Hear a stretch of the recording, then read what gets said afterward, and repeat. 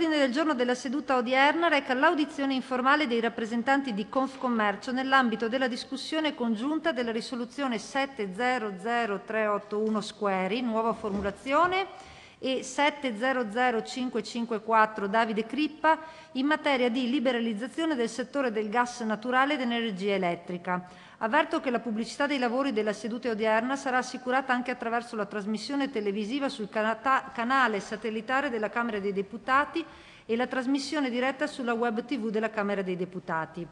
Do la parola al Presidente Giovanni Acampora, membro di Giunta con incarico per la transizione ecologica e la sostenibilità, e successivamente al dottor Paolo Masciocchi, responsabile del settore ambiente, utility e sicurezza, ricordando loro che hanno a disposizione in tutto dieci minuti. Grazie. A lei Presidente la parola. Grazie Presidente. Intanto desidero ringraziare vivamente la Commissione, il suo Presidente, quindi lei in particolare, per l'opportunità che ci è stata offerta di poter esprimere il nostro punto di vista, quello del mondo produttivo, sul tema che è quello connesso al superamento della tutela dei prezzi nella fornitura di energia elettrica e gas per imprese e famiglie, che riveste oggi più che mai un'importanza strategica per il nostro Paese e per le nostre aziende. E questo a maggior ragione soprattutto in una fase delicata come quella del post-pandemia. Una notazione preliminare, la liberalizzazione dei mercati è per noi un obiettivo condivisibile che deve essere sostenuto e perseguito con forza e determinazione. È solo infatti dal libero e consapevole confronto fra domanda e offerta che possono essere determinati prezzi finali vantaggiosi e competitivi. In questa logica pare a noi che ci sia mosso, si sia mosso nel corso degli ultimi anni il legislatore che sin dalla legge del 4 agosto 2017, numero 124, la cosiddetta legge concorrenza, aveva già posto le condizioni per rendere operativo il passaggio dal mercato tutelato a quello libero. L'obiettivo specie era proprio quello di operare, o quantomeno favorire, una contrazione progressiva ma sistematica della consistenza del servizio di maggior tutela ed una corrispondente crescita del numero di clienti riforniti sul libero mercato. Da ultimo proprio la legge 26 febbraio 2021, la numero 21, prorogando l'ingresso nel mercato libero al 1 gennaio 2021 per le piccole imprese e dal 1 gennaio 2023 per le micro imprese gli utenti domestici, si è mossa proprio in questa direzione. Le motivazioni della proroga sono proprio da attribuire all'esigenza assolutamente condivisa dalla nostra Confederazione di garantire un ingresso nel mercato libero, consapevole e volontario da parte dei clienti finali. Fatte queste premesse, data per acquisita, come detto, la condivisione dell'obiettivo generale di giungere alla piena liberalizzazione del mercato energetico, il punto che a noi preme sottolineare in questa sede è quello di verificare nei fatti se vi siano oggi le condizioni per rendere effettivo tale passaggio. Dal nostro punto di osservazione eh, rileviamo come l'attuale contesto dei mercati ritiene l'effettivo grado di maturità per l'accesso al mercato conseguito di, eh, dai clienti di piccole dimensioni indicano come occorre ancora compiere alcuni importanti passaggi per poter raggiungere l'obiettivo individuato dal legislatore. Vediamo qualche dato. Dal lato della domanda, con riferimento ai clienti domestici nel 2020, circa il 56% dei clienti ha scelto di forniture sul mercato libero. Ciò significa che il servizio di tutela risulta la modalità di approvvigionamento per ancora circa 2,9 milioni di clienti finali. Per quanto riguarda i clienti non domestici, hanno optato per l'offerta in libero mercato il 68% dei clienti, fermo restando che circa 2,19 milioni di clienti sono ancora forniti nel servizio di maggior tutela. Mentre se lo guardiamo dal lato dell'offerta, in ordine a livello di concentrazione di mercato, seppure i dati indicano la presenza di un numero ancora molto cospicuo di operatori, l'82,5% del settore domestico è ancora rifornito da 5 operatori, eh, Eni, Asia, Aerea, A2A, di cui uno Enel serve circa il 67% dell'energia consumata, mentre il secondo Eni serve il 6,4%. Per quanto riguarda le vendite ai clienti non domestici alimentati in bassa tensione, la quota dei primi cinque operatori in ordine di rilevanza Enel, Ene, A2A, Edison e Eon è pari invece al 53,7% del totale. Tutti i dati che abbiamo esposto danno evidenza di un mercato ancora oggi non maturo e consapevole e suggeriscono quindi la necessità di accompagnare questo, uh, questo passaggio definitivo al libero mercato con alcune condizioni che io oggi proverò sommessamente assumere. Mi limiterò ad evidenza solo dei punti che la nostra Confederazione ritiene priorità. rimandando poi a una metodica scritta una valutazione più articolata e più complessiva. Uno, potenziare gli strumenti di, forma- di informazione dei clienti finali. Dal nostro punto di osservazione rileviamo come il mercato elettrico risulta spesso di difficile comprensione per le nostre imprese, che temono l'agire truffe da parte dei fornitori. Crediamo quindi sia assolutamente necessario accrescere la consapevolezza del cliente finale nell'ambito del rapporto con il venditore, considerato che il requisito imprescindibile per l'affermazione di un libero mercato, quale luogo ordinario di approvvigionamento dei clienti finali, è proprio la capacità del consumatore di valutare le diverse proposte contrattuali e i venditori che meglio soddisfino le proprie esigenze specifiche. Occorre quindi specifiche iniziative anche istituzionali, anzi soprattutto istituzionali, da accompagnare con un piano certo e completo di comunicazione da qui ai prossimi anni. Due, assicurare una vigilanza costante sulle varie fasi del passaggio di loro mercato.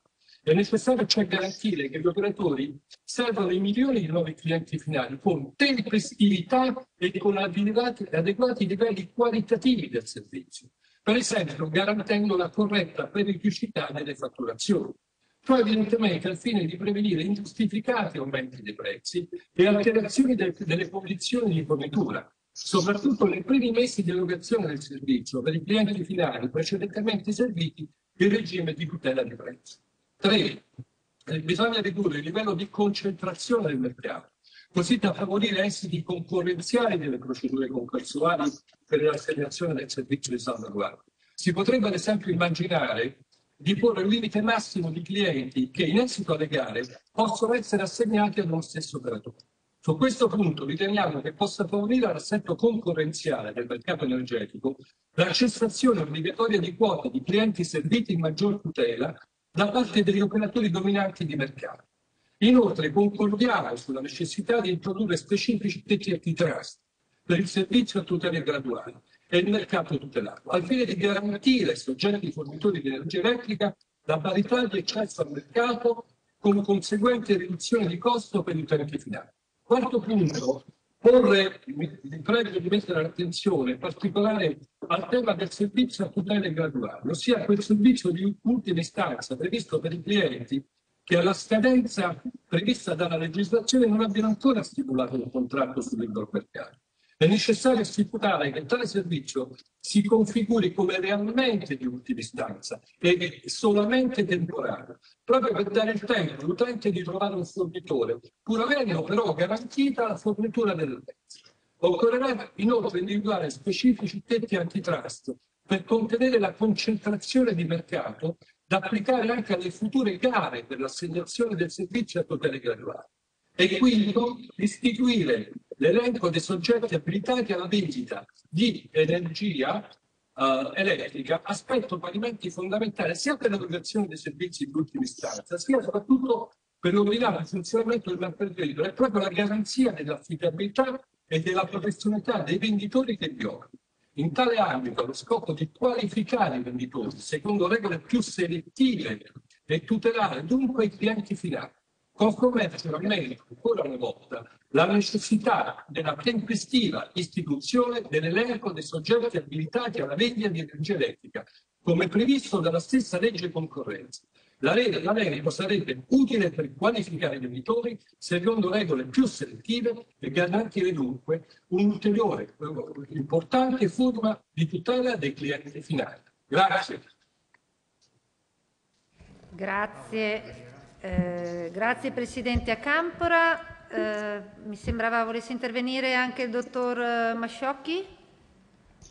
Ma guardi, il Presidente Acampora ha toccato eh, diciamo, tutti gli aspetti che per noi sono prioritari, sui quali ribadisco eh, che mh, presenteremo una memoria più di dettaglio insomma, prossimi, nelle, nelle prossime ore. Forse ecco soltanto un aspetto, ma più marginale, volevo far presente eh, che è tutto il, diciamo, l'ambito di questa indagine ecco, è concentrato, è indirizzato, è limitato al quello che noi abbiamo calcolato solo il 40% del costo complessivo dell'energia, perché è il, diciamo, eh, l'ambito che corrisponde poi al prezzo eh, delle, delle, delle utilities. Tutto il resto, cioè il 60%, è gestito, è determinato dagli oneri generali di sistema,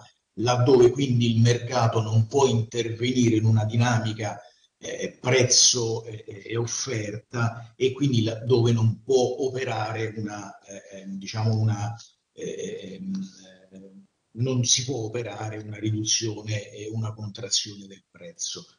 Ecco, questo è un aspetto rilevante perché, eh, perché eh, occorre anche tentare di intervenire in questa sede e con commercio certamente eh, eh, condivide le posizioni già espresse in altre sedi sia dall'ARERA che dall'autorità garante della concorrenza e del mercato che hanno indicato appunto la via del trasferimento nella fiscalità eh, generale degli oneri del sistema elettrico. Questo per una questione di equità ovviamente, ma anche perché eh, parlare di liberalizzazione del mercato elettrico e quindi di fine della tutela è tanto più necessario quanto e più utile quanto poi eh, eh non vi sia una componente così rilevante, circa il 60%, che poi di fatto rende anelastica eh, la domanda. Soltanto questa notazione eh, aggiuntiva volevo, volevo Benissimo, grazie. Allora do la parola all'onorevole Luca Squeri, che è anche proponente de, di una risolu- delle risoluzioni. Prego.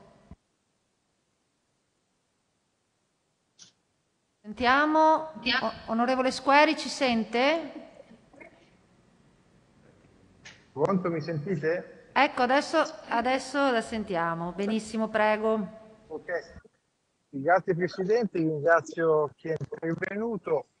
Mi sembra di capire che ci sia sostanzialmente un giudizio positivo su diciamo, eh, una auspicata, eh, un auspicato arrivo al mercato più libero, per cui una cessazione del mercato tutelato. Ecco, una domanda molto semplice, secondo voi rispetto, tanto se eh, ho capito bene appunto qual è la vostra opinione e poi qual è tra i provvedimenti quello che ritenete più importante, più necessario affinché questo possa avvenire nel migliore dei modi. Grazie. Grazie. Al momento non vedo altri colleghi che intendono intervenire. Eh, chiedo se vuole rispondere il Presidente a, Campo, a Campora oppure ditemi voi. Presidente, benissimo, allora do la parola al Presidente Giovanni Acampora, prego. Grazie Presidente, io ringrazio per la domanda l'onorevole Squeri perché così eh, tendo anche a ripetere con più precisione i punti fermi che il Confcommercio intende perseguire. Ecco, l'esperienza degli ultimi anni, onorevole Squeri, ci fa vedere che non sia proprio più possibile prorogare, prorogare oltre il primo gennaio 2023 la fine del mercato tutelato per le microimprese e clienti domestici. Identificare per noi una data certa per la liberazione è un atto necessario sia per gli operatori, perché gli operatori potranno organizzare al meglio le proprie strutture, per poi rifornire un numero sempre più ampio di utenti, sia per i consumatori finali, che se correttamente informati potranno giovarsi di prezzi più concorrenziali. Quindi la nostra eh, un'idea su questo è abbastanza chiara e quindi mi fa piacere che lei l'abbia ribadita perché la posso eh, evidenziare maggiormente. I dati proprio in nostro possesso suggeriscono però la necessità, come ho relazionato prima, proprio di accompagnare questo processo con delle adeguate campagne di sensibilizzazione e di informazione. Questo lo riteniamo davvero utile. Occorrerà inoltre assicurare quella che noi riteniamo ancora più importante, la vigilanza costante sulle varie fasi eh, di questo passaggio, finché siamo eh, sempre scongiurati dei possibili effetti distorsivi della concorrenza. Spero di aver chiarito nettamente qual è la nostra posizione della nostra Confederazione. Grazie. Grazie. Non so se vuole intervenire, aggiungere qualcosa anche il dottor Masciocchi. Niente, Penso bene. che il Presidente sia stato assolutamente chiaro, quindi Bene, allora se avete della documentazione che intendete trasmetterci, noi eh, la trasmettiamo ovviamente a tutti i colleghi. Eh, è, se- è, sempre utile per riuscire a elaborare bene poi la risoluzione finale. Eh. La faremo al prima possibile. Benissimo, grazie. Eh, ringrazio i rappresentanti di Confcommercio, buona giornata e sospendiamo per 5 minuti la seduta. Grazie. Grazie, grazie. grazie. grazie.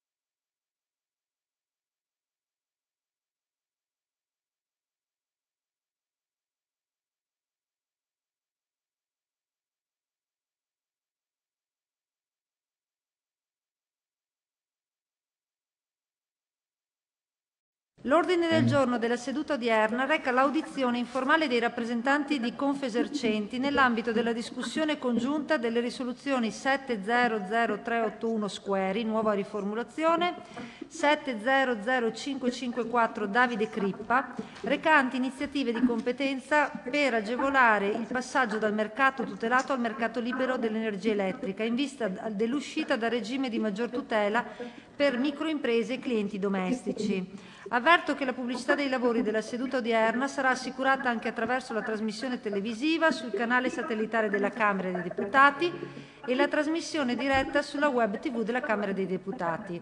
Do la parola ad Angelo Spanò, responsabile settore energia, ricordando che ha a disposizione circa dieci minuti per il suo intervento. Grazie. Bene, grazie. Ringrazio voi tutti, ringrazio per l'attenzione, ringrazio per l'opportunità che dà ai Confesercenti di esprimersi su un tema, questo della liberalizzazione dei mercati dell'energia elettrica e del gas, che è un tema che affrontiamo ormai da molti anni, abbiamo affrontato spesso in altre occasioni i confronti, abbiamo affrontato spesso in termini di regolazione con RERA. Per cui ci fa piacere insomma, che questo tema venga posto sotto osservazione perché è un tema molto delicato e che interessa milioni di cittadini e migliaia di imprese, insomma, quindi è chiaro che questo tema è molto importante. Dico in premessa che abbiamo preparato un documento che vi verrà inviato, che verrà consegnato alla vostra attenzione, per cui insomma, avrete anche una nostra posizione ufficiale in merito a questo tema. In merito alle, ai, ai due testi formulati che sono posti all'ordine del giorno oggi della, delle due risoluzioni parlamentari che sono poste all'ordine del giorno, ehm, noi facciamo questo tipo di valutazione, noi crediamo, credo insomma si possono evincere insomma dai, dai due documenti che partono entrambi da un'analisi comune, no? che è una forte preoccupazione rispetto al, al percorso del, del, mercato libero dell'energia. Ecco, rispetto a quel percorso penso che avendo questa analisi comune auspichiamo, se possibile, insomma, credo che sia utile, magari se fosse possibile, un'unica risoluzione che porterebbe, insomma, credo anche ad aspetti più chiari, ma questo compete naturalmente a voi, credo che la nostra può essere solo un auspicio in tal senso. E, ehm, prima di entrare nel merito rispetto anche al documento che abbiamo, vi permetto di fare due o tre valutazioni sullo stato di situazione, insomma, sui dati che abbiamo, su quelli che vediamo di Arera, credo che siano a conoscenza di tutti, ma insomma sono le nostre considerazioni. La prima è questa, in merito al settore domestico.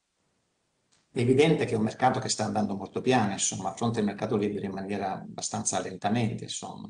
Mi sembra di poter dire dai dati che abbiamo ufficiati nella relazione annuale di Arera che il 2019 ha un po', insomma, dà segni di un'accelerata, insomma. Mi sembra che il passaggio sia stato più numeroso e quindi molti più utenze domestiche sono passate al mercato libero. Una mia valutazione è questa, se il 2020 continuato con il trend del 2019, probabilmente oggi si può stimare in circa 15 milioni le utenze che rimangono nel mercato di tutela, che è sempre un numero grande, enorme, molto importante, ma è chiaro che il numero insomma, è in continua diminuzione. Quindi massima attenzione, però se il trend è quello, un po' di riflessioni vanno fatte, insomma. E per questo valutiamo positivamente il dato del 2019. Mentre per il mercato del, del non domestico, insomma il mercato riguardante le imprese, quello che più ci riguarda direttamente noi, mi sembra che lì ci sia più consapevolezza, più insomma, si conosce meglio insomma, il mercato, si conoscono quali sono le opportunità e il fatto che più di due terzi siano trasmigate nel mercato libero fa comprendere come le imprese sono attrezzate meglio, più affiancate, insomma anche il ruolo dell'associazione di impresa ha avuto un suo ruolo in questo. Noi stessi siamo organizzati in più consorzi insomma, territoriali per affiancare e aiutare le imprese a fare una scelta consapevole dei fornitori delle offerte che ci sono sul mercato libero dell'energia. Seconda questione che riguarda molto più il mercato domestico. Mi sembra che lì ci siano posizioni dominanti fatte sicuramente da Enel, ma anche altri, con, con altri fornitori, insomma si arriva ad avere una situazione di controllo che è circa l'80%, insomma quella è una situazione che insomma, probabilmente il mercato libero ha scalfito poco, insomma su questo servirebbe insomma, poi lo riprendiamo anche nel documento nostro, servirebbe una riflessione un po' più ampia, un po' più dettagliata su questa questione. Insomma, certamente parlare di mercato libero in una situazione così è un po', un po', un po difficile. Insomma. Ecco. Terza questione, terza valutazione che facciamo insomma, sui dati. Credo di poter dire che in questi anni si è creato un disallineamento molto forte tra offerta e domanda. Mentre l'offerta è aumentata in maniera sensibile, no? si parla di più di insomma, 720 fornitori di energia, insomma, sono un numero insomma, enorme insomma, in un mercato come quello nazionale, come quello italiano. L'uscita del mercato libero invece ha seguito un trend che è molto più lento della nascita delle imprese. Per fare un conto in qualche modo anche un po' così, un po' molto semplice, se i 15 milioni che io stimo di utenti che sono rimasti nel mercato di tutela da parte insomma, del settore domestico fossero suddivisi tra i 720 insomma, fornitori, si avrebbe un passaggio di circa 20.000 utenze a testa, sarebbe un numero veramente ridottissimo che tutti potrebbero gestire tranquillamente. Certamente sappiamo che non è così, non sono i fornitori tutti uguali, non sono tutti attrezzati allo stesso modo, non tutti i clienti, non tutti i domestici sono a conoscenza delle offerte, quindi è solo una, dire, un calcolo matematico, un calcolo aritmetico, non è certamente quello che può avvenire, eh, quello che può avvenire nel mercato. Insomma. Sarebbe auspicabile una cosa di questo tipo, quello sì che si potrebbe configurare come una vera concorrenza, un vero mercato libero, ma probabilmente non, sarà, non, è, non è quello che sta succedendo. Bene, su altre questioni che riprendiamo anche nel documento, eh, intanto voglio dire una cosa, eh, sul, sul tema dei rinvii dell'entrata in vigore del, insomma, del, del rendere obbligatorio l'uscita del mercato di tutela, È chiaro che naturalmente di fronte a questi numeri tutti ci rendiamo conto come sono numeri, eh, i rinvii sono necessari, non si è pronti ad affrontare il mercato, quindi i rinvii che sono stati fatti in questi anni sono, sono necessari, sono, sono, lì, è giusto che si siano, siano stati fatti, insomma.